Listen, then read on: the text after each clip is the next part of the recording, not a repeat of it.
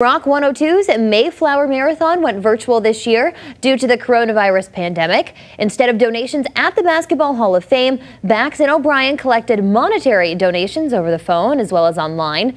They raised more than $72,000 for the open pantry in Springfield.